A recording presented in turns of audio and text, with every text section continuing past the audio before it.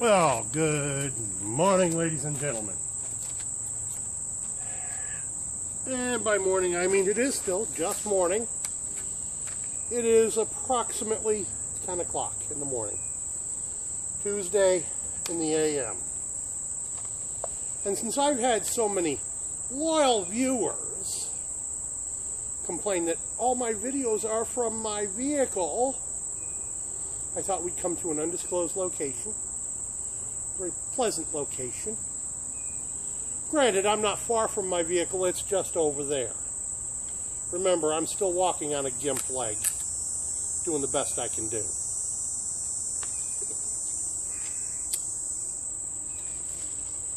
Some people are. If you'll excuse me a moment, I forgot to grab my reading glasses. My armor's not that long anymore.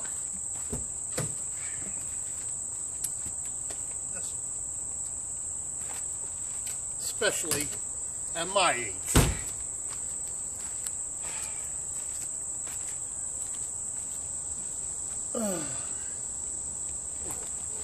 And for those of you who know about this, I don't have to do a whole lot of explaining, but for those of you who do not yet know, in June I sustained a mechanical injury just trying to get in and out of my school bus because of the extremely wet rainy conditions we'd had early on in June. And because I'm old and diabetic, things heal slowly. Yes, ladies and gentlemen, I have that intrepid little notebook. It is once again time for Alone, the review. And this will be episode 10. They start the episode off with another quote from a famous person. Though I'm not one to uh, be able to tell you much about the, the famous personage, someone named Mary Sarton. Never heard of Mary before that episode. And the quote was, Does anything despair except man? Sorry, can't answer that. Don't know. Now, they start off showing last week's uh, ending episode. Uh, and Lucas seemed to be taking things in stride. And the others not so much. That's how they ended episode 9. and then they go right into day 37. Now remember, ladies and gentlemen, my opinions and my observations are based on having spent 10 weeks myself on Vancouver Island back in the early 80s. So, this is not just an armchair quarterback quarterback deal for me. It's a case of actually been there, done that, burned the t-shirt at least two decades ago. Now,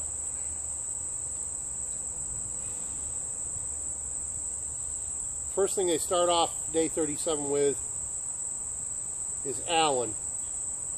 And he looks extremely gaunt. He has not had anywhere near enough nutrition and his body is cannibalizing itself for the nutrients it needs to stay alive. And he starts out talking about tapping out. Trouble is, why use two words when 150 will do, right, Alan? For those of you from Rio Linda, that means he, he was having a bad case of verbal diarrhea. Okay, then they move over to Luke. And he's questioning does he have the strength to continue? He also was looking at skosh gaunt as well. They move over to Sam next, and he decides to go bow hunting and misses. Now, my eye wasn't exactly quick enough to catch what it was he was shooting at, and I don't think the camera was either. So I don't know if he was actually seeing a critter to shoot at, or if he's uh, so far un- malnourished that he's hallucinating. I don't know which. That's all I'm saying. Okay. Then they go back to Alan. And he thinks he's starving. Well, Bud, you are. It's that simple. And he's talking about the tide not low at first light. Well, make yourself a torch and go out at nighttime when it is low. You see, this was a point I made earlier. The producers of this show, at the very first thing they put up is these men are trained wilderness experts. Really? So far, I've not seen an expert on there at all. I've seen guys that have some training, but they're not experts. Not one of them.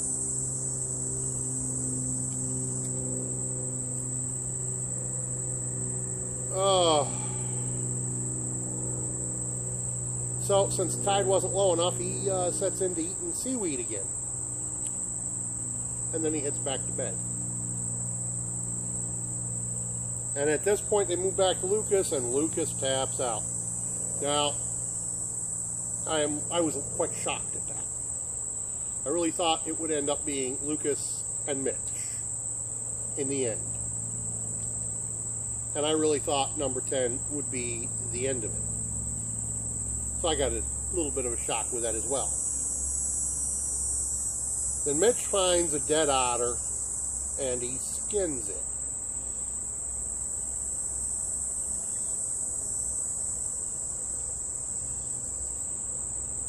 Why did he not eat the meat? This is a question I'm asking. Why did he not eat the meat? Was it too rotten to eat? If so, why bother with the hide? These are just questions. Uh, I don't have the answers. Then they move over to Sam again. He's talking about how helpless he feels. I really thought he was going to be the next to tap out at this point. Got a little surprise there, too. Then they go over to Alan. And he's checking his net, and he's got a, a, a couple of small dogfish. Well, well, shark is okay to eat if you've got nothing else on. He, he, he's mentioning as he's cooking it that it's got a funky taste to it. If he says so, I've never actually eaten dogfish. I know you can eat them. I've caught many of them. Matter of fact, the last time I caught a dogfish was on the Hellcat 2 out of New London, Connecticut when I went blue fishing. God, that was, oh, 30 years ago? It's a long time.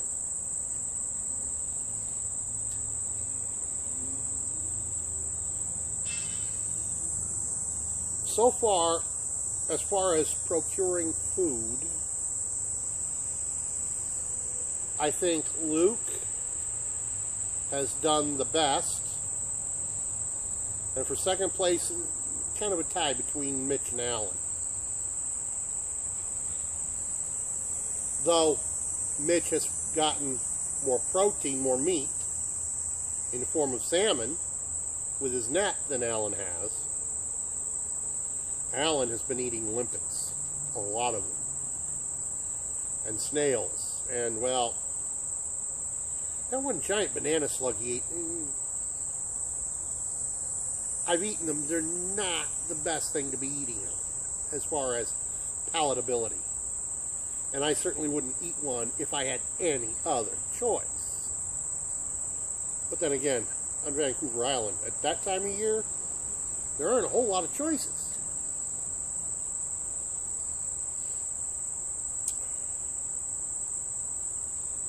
The one thing I couldn't quite figure out was at, the next thing Alan's doing He's eating his, his dogfish and seaweed and mussels stew. And by mussels, I refer to any of the uh, bivalves that he can pick along the edge of the shore. That would be blue mussels, clams, limpets, etc. I couldn't tell you exactly what he had, in there. I think they were limpets, but I'm not positive of that. So he's eating his fish and, and, and bivalve stew in the rain. Why? Why doesn't he have a separate place set up where he can get out of the rain to eat that isn't right where he sleeps? I've made this point before. This is something true wilderness experts do. You have at least three separate camps. Over there, you're going to have a butchering camp. That's where you're going to take your fresh kill and you're going to gut it and skin it and, and leave all the entrails there. And then you're going to take your fresh meat and you're going to move to camp number two over there. And that's going to be your cook camp. And this is the place where you're going to have a line run up over a limb 30, 40, 50 feet in the air. And on the end of that line, you're going to have a bag that's primarily critter proof in regards to squirrels, raccoons, that sort of thing. And in that bag, you're going to hang your fresh meat inside that bag and hang it from that limb 40, 50 feet in the air where bears can't get at it. And you're going to have that, bear, that bag dangling 20 feet below the limb. So when cougars try to jump for it from a limb above, they're going to hit it, bounce off, and go flying, thereby protecting your food from the critters. This is also where you're going to come to cook twice, three times a day, whatever you decide is necessary for you. Then you can take your meat that you cooked with you back to your sleep camp and eating it on the way, discarding bones and whatnot before you get to the halfway point between cook camp and sleep camp. You want nothing in sleep camp that's going to give the odor of meat and foods to draw the predators. The most you want to be making in sleep camp is like nettle tea or, or dandelion tea. Something you use up and consume right there, quick. And it doesn't smell like meat. That's what you want to be cooking in sleep camp. Not meat, not salmon, not deer, not none of it.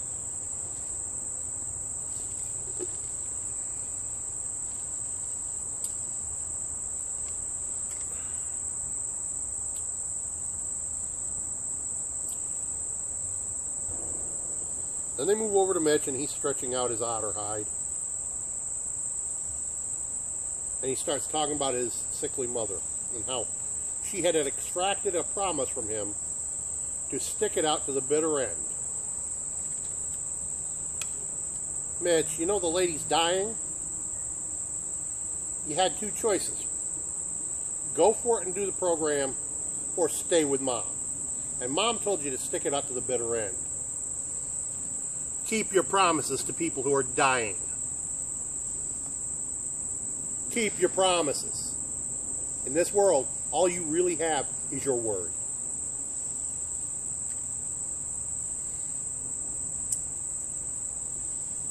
Then he decides, uh, Alan, Alan decides to just lay around the shack for a while.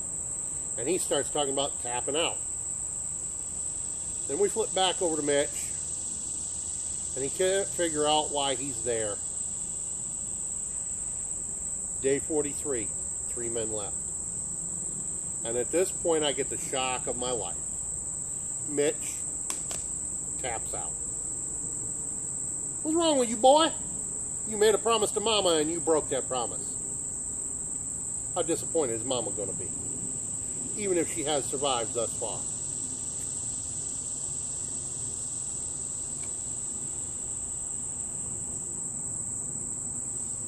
Alan talking about Cranky and Sam. Well, I'm beginning to think he's he's just done gone around the bend.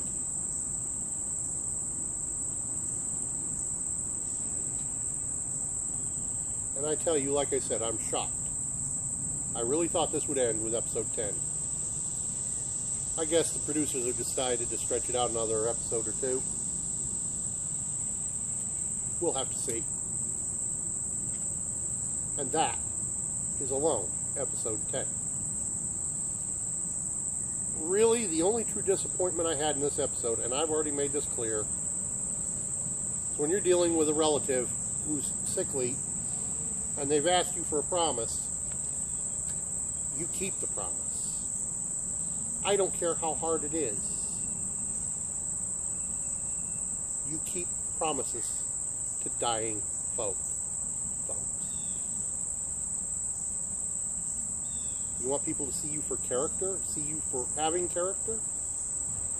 If you've made a promise to somebody you know is not well and is likely to die, no matter how hard that is on you, you keep that promise.